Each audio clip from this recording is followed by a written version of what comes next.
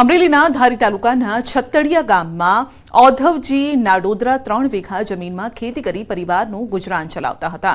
જે માટે તેમણે સૌરાષ્ટ્ર ગ્રામીણ બેંકમાંથી લોન લીધી હતી, પરંતુ લોનની ભરપાઈ ન કરી શકવાની હાલત હોવાથી વારંવાર બેંકની નોટિસ આવતી હતી. જેના પગલે ખેડૂતે પોતાના ઘરે ગળે ફાંસો ખાઈને આત્મહત્યા કરી. પરિવારના સભ્યોને જાણ થતાં તેમણે તાત્કાલિક હોસ્પિટલ ખસેડ્યા.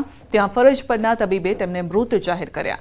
ધિરાણ લોન લઈને ખેતી કરતા ખેડૂતને પોષણક્ષમ ભાવ ન મળતા વ્યાપક નુકસાની ભોગવવાનો વારો આવ્યો.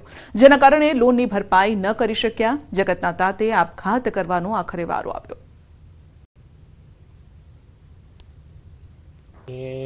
મજૂરી કામ કરતા જમીન હતી અમારે.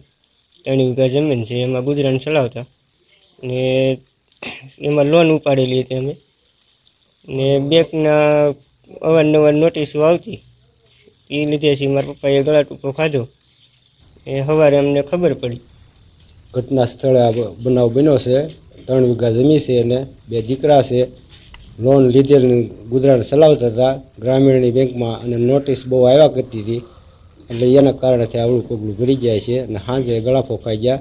કાલુભાઈ વધુજીભાઈ રવોદરા પચાસ વર્ષની આશરે ઉંમર છે.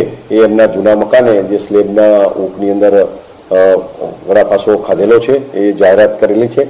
અને હાલ ત્યાંથી એ જાહેરાત અન્વયે એનું પોસ્ટમોર્ટમ પણ કરવામાં આવેલું છે દારી સરકારી હોસ્પિટલમાં. અને હાલ તપાસ છે, અત્યાર સુધીમાં જાહેર થયા મુજબ અગમ્ય કારણોસર એમના મોતની જાહેરાત કરવામાં આવી છે. તેમ છતાં વિશેષ તપાસ ચાલુ છે કે ખરેખર મોતનું સાચું